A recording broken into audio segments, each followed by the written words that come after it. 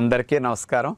ఈరోజు బీపీ న్యాచురల్గా తగ్గాలంటే ఏం చేయాలో తెలుసుకోబోతున్నాం. ఒక్కసారి బీపీ వస్తే జీవితంలో పోదు అన్నారు. ఒకసారి మందు మొదలెడితే లైఫ్ టైం వేసుకోవాలి అన్నారు. మరి ఒకసారి వస్తే లైఫ్లో ఎందుకు పోదంటే లైఫ్ టైం మనం మారట్లేదు కాబట్టి. మరి మనం ఎప్పుడు మారకపోతే జీవితంలో జబ్బు ఎందుకు పోతుందండి? మరి మనం మారాలి.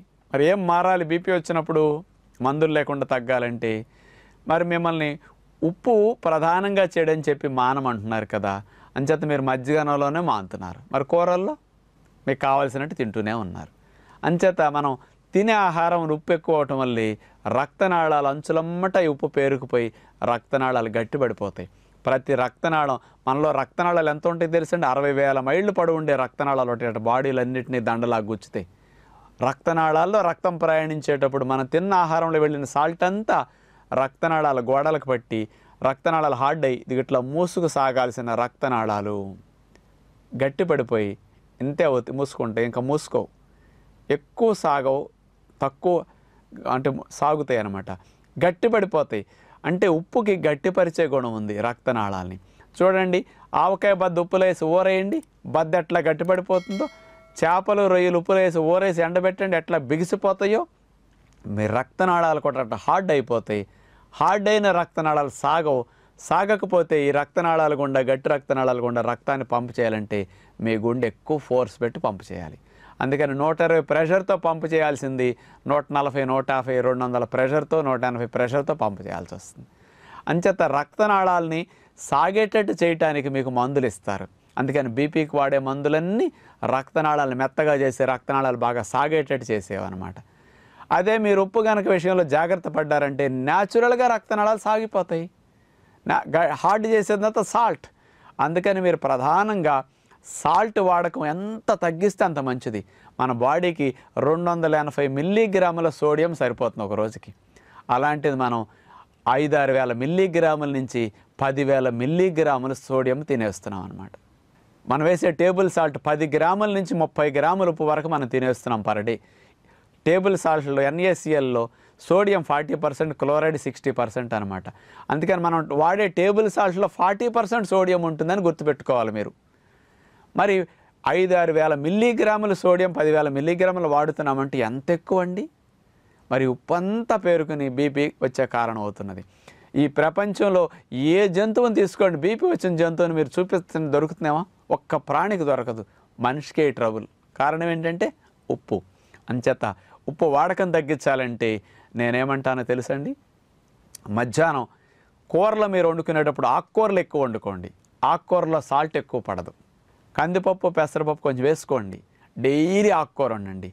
వండేటప్పుడు ఉప్పు వేయకండి. ఆకుకూర దింపేశాక అందరు తాలింపు పెడతారు కదా అట్లా కొంచెం తాలింపు పెట్టుకుని పైన ఇంత ఉప్పు చల్లుకోండి. పులుపు మామిడికాయ గోంగూర ఇట్లాంటి పప్పుల్లో ఆకుకూరలు వేసేస్తే ఉప్పు లేని లోటు పెద్దగా తెలియదు తక్కువ ఉప్పు వేసిన ఎక్కువ మేనేజ్ చేసుకునేట టేస్ట్ వచ్చేస్తుంది అనమాట ఇలా వండుకుని ఆకుకూర తినండి డైలీ మనకి న్యాచురల్ కావాల్సిన సాల్ట్స్ ఆకుకూరలు ఎక్కువ ఉంటాయి కాబట్టి బయట నుంచి సాల్ట్ లేకపోయినా మీకు డెఫిషియన్సీ రాకుండా ఉంటుంది.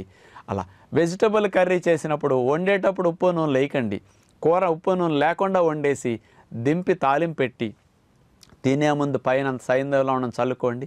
బీపీ ఎంత న్యాచురల్గా తగ్గిపోతుందో. అసలు మెడిసిన్స్ ఎంత సింపుల్గా మీకు తగ్గించుకునే అవకాశం వస్తుందో.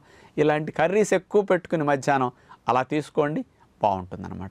ఈ మార్పు మొదట్లో చేసుకోండి. పెరుగన్నం మజ్జిగన్నలు అసలు ఉప్పు ఎప్పుడు వాడట్లేదు అది మానేసేయండి ఎప్పటికీ ఇక ఉదయం సాయంకాలం మీరు న్యాచురల్ ఫుడ్ తినండి. సాల్ట్ వెళ్ళే అవకాశం ఉండదు. ఫ్రూట్స్ అండి హై పొటాషియం డైట్స్ అవి. వేడి చేస్తే పొటాషియం తగ్గుతుంది. పొటాషియం అనేది ఎక్కువ ఉంటే మనలో సాల్ట్ని బయటికి గెంటేస్తుంది ఎక్కువగా. రక్తనాళాలు స్మూత్గా ఉంటాయి. బీపీ తగ్గటానికి హై పొటాషియం డైట్స్ కావాలి.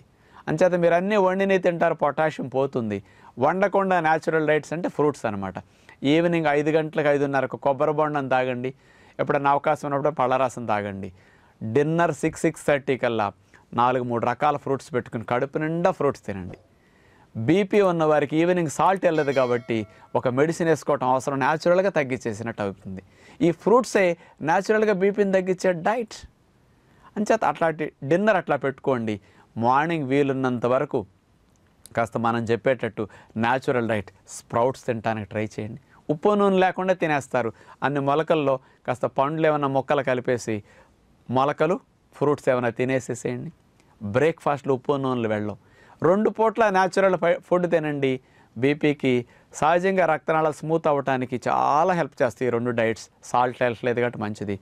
మధ్యాహ్నం ఒక్కసారి లిమిటెడ్ సాల్ట్ పైన చల్లుకోండి. బీపీ వారానికి ఒకసారి చూసుకోండి.